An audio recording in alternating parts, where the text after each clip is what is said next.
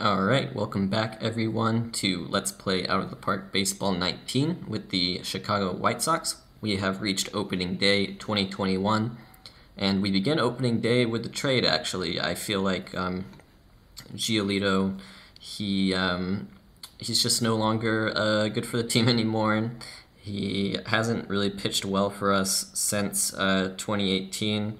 He suffered an injury and now he's fragile. He's only one and a half rate stars rated as a starting pitcher, and he's 26. Um, and he's, you know, costing us a, a spot on the 40 man basically at this point. And his spring training was poor. So um, I decided I'm going to trade him away, and we're going to also send away. Um, I think I'd like to send away. There was a relief pitcher. Yes, okay. Just as a throw in, this guy to the Rangers for uh, Thomas Dillard, who was their third round pick in 2019. Looks like an all rightish catching prospect, not necessarily, uh, you know, Shea Langeliers type, but uh, pretty good nonetheless. So we are going to go ahead and do that trade to start everything off. Okay, we are back with a trade that uh, probably surprising, but uh, we're going to trade away Josh Ockimey here. Uh, it's kind of a bummer but his uh, his ratings have just kind of come down a bit. And if you look at his um, past scouting reports, you can see he's gone from being like a 65 home run 70 eye guy. Now he's a 60 home run 55 eye guy. So even then, his eyes dropped 10 uh, just in the last off season or so. You can see that in the past uh, scouting reports. So uh, I think it's time to move on. And um, the fact is, we um, we have um, what I believe to be an adequate replacement for him. Um, and also the fact that his personality class is outspoken isn't super great either. So yeah, we're going to trade him. We're going to trade away Hunter Bishop. And we are also going to trade away Joe Panik, who we signed on a minor league deal, so no harm there. Um, and in return, we're going to get Brad Peacock. Uh, two years of him uh, left on his contract. Astros will cover 60%, and he will uh, be our fifth starter going into this season. So I think that just really shores up the rotation, and I feel like we can replace uh, Ockimey by uh, having Calhoun DH for us and having uh, Gavin Sheets be our starting first baseman. So let's go for it. So with those trades made and everything now concrete as far as our opening day roster, let's go ahead and see who will actually be a part of that. So we have Jason Castro, who will start at catcher against right-handed pitching. Perez will start against lefties. Gavin Sheets becomes our new first baseman full time, so uh, big ups to him. He had a great spring training. He hit well in AAA last year, and um, yeah, now I feel like it's time for him to really get a shot at it. Yoan Moncada will, of course, return of our, as our second baseman. He's a monster. Eduardo Nunez, I've actually signed on a minor league deal and decided to bring up. Uh, he will kind of just serve as your general bench bat, if anything, and he has, you know, he can play the infield a little bit, so that's not too bad. Swanson returns as your third baseman. Simmons will be your opening day shortstop. Uh, Ingel Vilma, he is day to day right now, but he's all right to go. He has awesome, uh, he can play short third base and second base at a high level. That's why I have him, so he's a pretty great uh, utility guy to have. Jimenez will start at left field. I don't know what his long term future is with us because uh, Steele Walker is really breathing down his neck for that left field spot. I'll, let me tell you guys. Uh, Gabriel Maciel, he will be our utility outfielder. Blake Rutherford will be our starting center fielder. Ian Happ, right field. Willie Calhoun, DH. He moves from first base to DH. So uh, your lineup will look like this. It'll go Rutherford, Happ, Moncada, Calhoun, Sheets, Jimenez, Swanson, Castro, Simmons. And against lefties, it'll be a little bit different. It'll go Rutherford, Swanson, Moncada, Calhoun, Jimenez, Sheets, Happ, Perez, Simmons. So it's a pretty strong lineup, I feel. Let's get to the pitching now. Here's what your pitching setup looks like. We have Norge Ruiz as our ace. His ratings have come along substantially. He's kind of a late bloomer, if anything, as far as these ratings go, but uh, he, I mean, he's definitely one of the best pitchers in the league. I'll, leave it at that. He was a monster last year, and hopefully he picks up right where he left off. Sonny Gray will be our second pitcher. This is uh, his last year before a team option next year, so uh, his performance will pretty much be hinging on whether we pick up that team option for eight million or not. Daniel Norris will be our third arm in the rotation. Uh, he earned this from pitching pretty well last year for us, so uh, yeah, he will be the number three. Uh, Adbert Alzolay will be number four. Recent trade acquisition. He uh, he's got some nice ratings. He's got a nice arsenal of pitches, and I think the fourth spot is good for him. And in the fifth spot, we have the newly acquired Brad Peacock. So uh, it's it honestly looks like a pretty solid rotation to me. There's not you know none of these guys I'm too you know worried about. There's no like weak points. Uh, the bullpen, if there's anything on the team, is kind of what we have to be worried about because uh, we have Max Fried in there. He will be our long reliever slash emergency starting pitcher.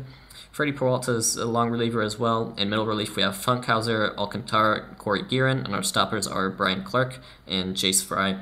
So that sort of settles everything that we have on the Major League roster for now. I would like to go ahead and maybe just look at AAA right now. Steele Walker starts season in AAA. Who knows um, where he goes after that? But uh, Shea Langeliers, he's damn close. He probably just needs some AAA plate appearances, and then he'll be ready to go. And then Blaze Alexander, uh, he's you know he's got great potential still, but I think he needs some time to grow in, in AAA. So I think Simmons will probably start at, at the very least the majority of the year.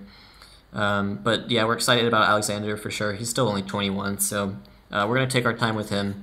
But Langeliers, uh, I mean, his his ratings are really nice. I would just like to see him get you know some AAA plate appearances. Then we could get him under the you know service time uh, rules too. We can have him. So uh, yeah, I expect Langeliers up soon. Expect Walker up if I decide to trade Jimenez at any point.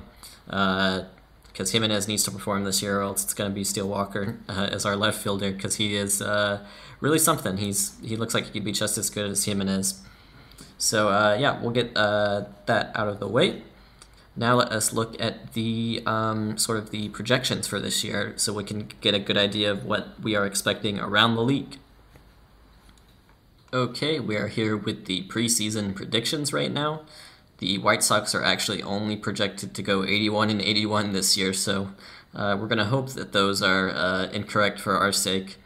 Uh, we don't have anyone slated to come up as a top hitter for us, although Reyes is projected to be the fifth best pitcher in the American League. That's pretty good. He's in good company with guys like David Price, Bumgarner, Chris Archer, and Berrios, so uh, yeah, that wouldn't surprise me. I mean, I think he Ruiz has really grown into something quite fast. We pretty much fleeced Oakland uh, on that deal. What exactly was that trade again? We sent away Fontana, um, Marco Martinez, Jose Maria Garcia, Nate Nolan. Yeah, that's the that's the fleecing of a generation uh, right there. uh, feel bad for them. But um, yeah, so we are projected to go 81 and 81, which would be fourth in the division.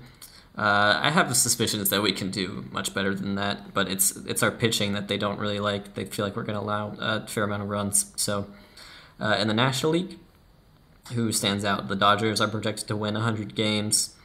Bellinger is projected to be the best hitter. Syndergaard is projected to be the best pitcher. Uh, who's projected to win the most games in the American League? Uh, that would be the Astros. So actually, interestingly enough, I look at the American League. So the Astros are projected to win 94 as they're slated to be the best team, and then pretty much everyone apart from the Tigers. So like the 14th best team uh, would be the Blue Jays at 72 and 90. So a, a good bit of parity in this league, not too much between uh, the top teams and sort of the middling teams or the mediocre teams. It seems like.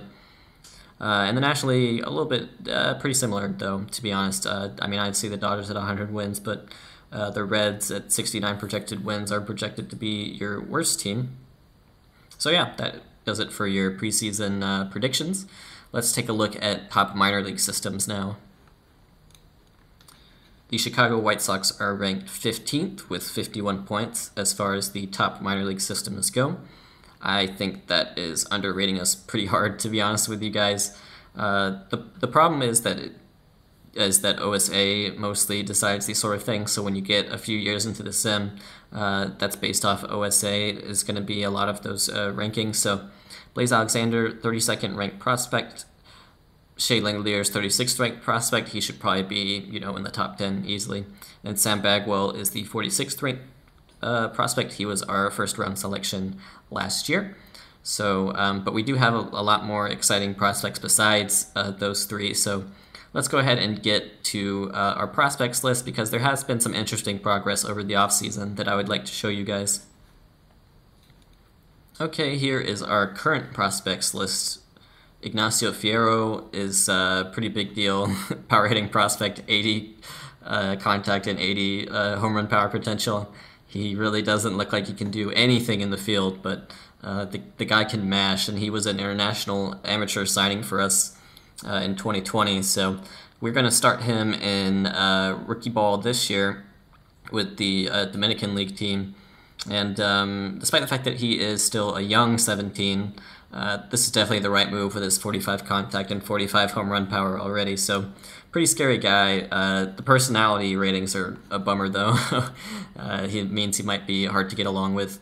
Jared Jones has come down a lot in terms of his projected rating, so I don't know how much longer he is for this list, but he was our third round pick last year for what it's worth. Uh, James Bell is another player who, you know, uh, I, I do like his ratings. I feel like he could be, if he was a better defensive catcher, I'd be more excited about him. But uh, yeah, he starts the season in A ball. Trevor Cad's another guy who is uh, still pretty uh, underwhelming compared to some of the other guys in the system. But he will start in A ball as well. Jared Campbell starts in A ball. Again, not uh, one of the bigger deal prospects. Van Kohler, uh, he actually, is, you know, his ratings look decent enough, but he is 23 years old. So he will start in A ball after finishing in A ball last year. I've actually decided to go Jean Carvajal and A ball to start the year. I'm not sure if that's the right move.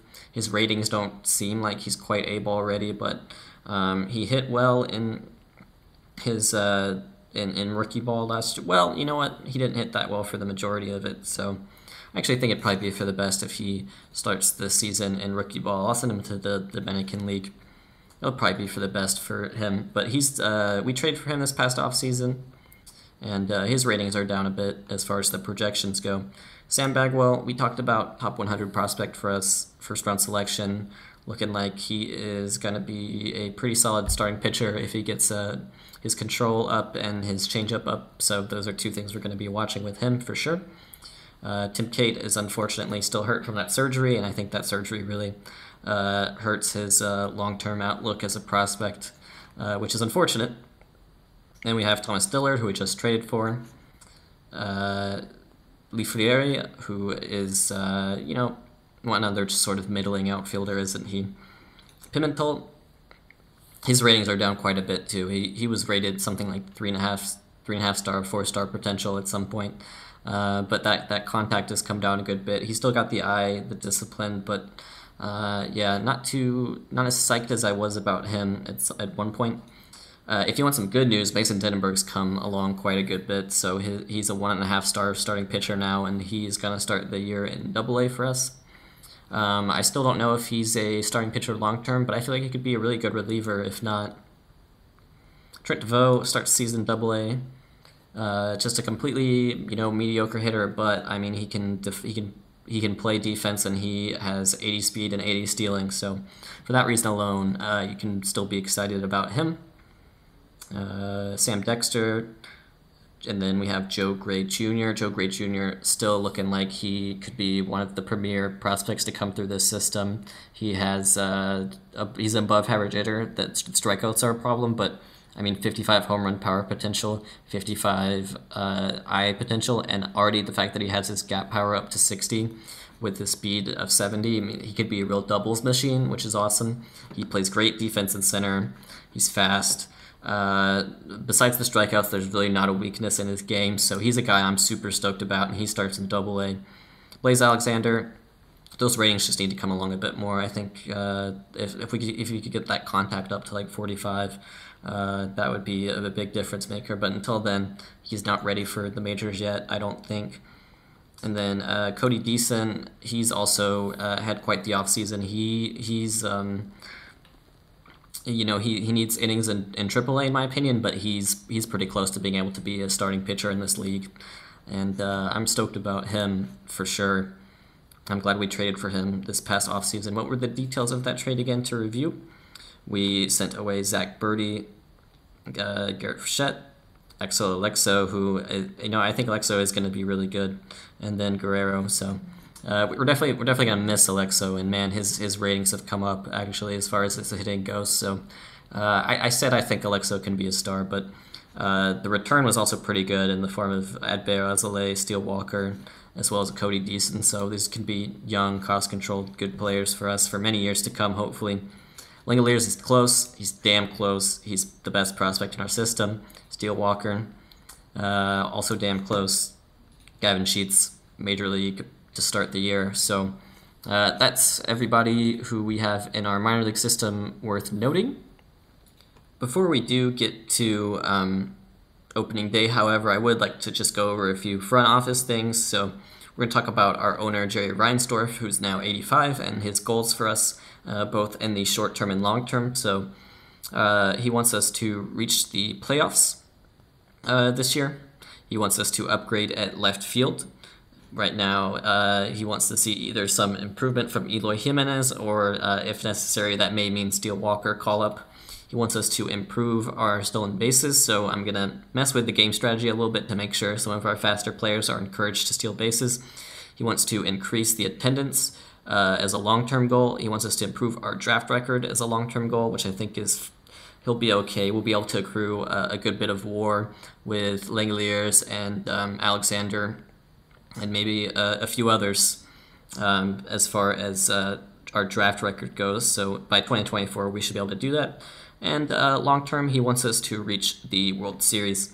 He is pretty pleased with us so far. I can understand. We pretty much surprised and won 98 games last year. So, um, yeah, that's what we have going there. And then I would, I just thought I haven't really done it. Um, I haven't showed this like all series, but it's, something I should be in the habit of showing. But we still have a pretty cheap uh, payroll, as you guys can see.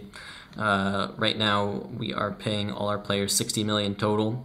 So um, most of them are, you know, pre-arb. And then we've got Gudwan, who's on 800k. Guerin, Perez, Norris are each at about 1.5 million. And then we have Swanson, Matz, Peacock, Moncada, Happ. Those guys are making, you know, multiple millions. Sonny Gray is pretty high paid. Castro is uh, seven and a half million, and then Simmons on that one year, thirteen million deal, which uh, I'm still pretty happy about, even though that obviously makes him the highest paid player on the team. Uh, he will fit that gap at shortstop well, while uh, Blaze Alexander figures things out in AAA. So yes, that is sort of the full overview of the team and what we are dealing with going into opening day. So let's go ahead and play at Seattle. Okay, it's time for opening day against Seattle. Hopefully, we can actually win on opening day, which is something I haven't managed to do yet. Uh, you can see their lineup right there. It's uh, it's pretty mediocre. No one is too scary in there. Uh, I don't think. James Paxton on the mound, though, he's a pretty great pitcher, so we will have to hopefully get some runs on the board against him. Him being a lefty means that our lineup is a little bit different than if it were against a righty, so for example, Salvador Perez starts and Swanson moves up to second in the lineup. Norge Ruiz, our ace, takes the mound. And uh, yes, let us get this show on the road. Okay, Blake Rutherford leading off the season. Let's see what happens. And he's hit it high and deep. Can we start the season with a home run? Yes, we can. Excellent. On the second pitch of the season, Blake Rutherford goes yard, and Chicago leads one to nothing. Excellent.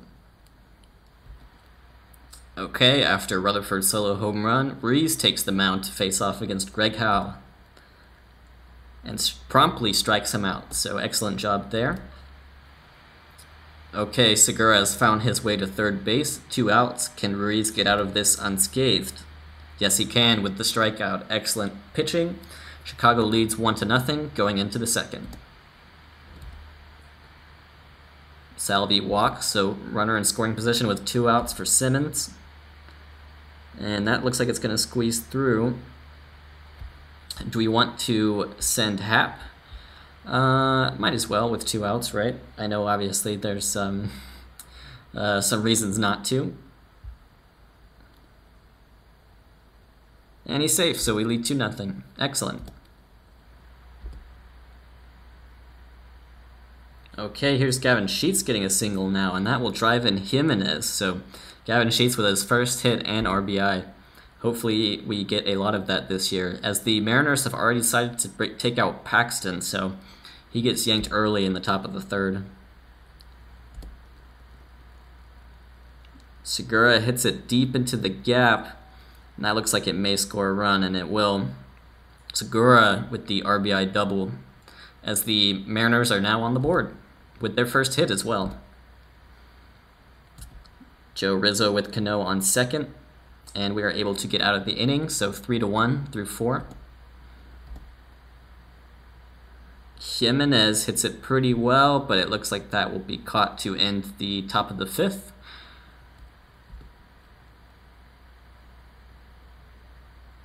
Simmons unfortunately hitting into the double play there. That ends the top of the sixth. Yes, he can with the strikeout. Excellent job. White Sox still lead 3 to 1.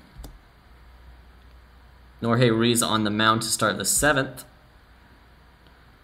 Jesse Jenner singles off. No out. Looks like it'll be a double actually. So extra bases for Jenner.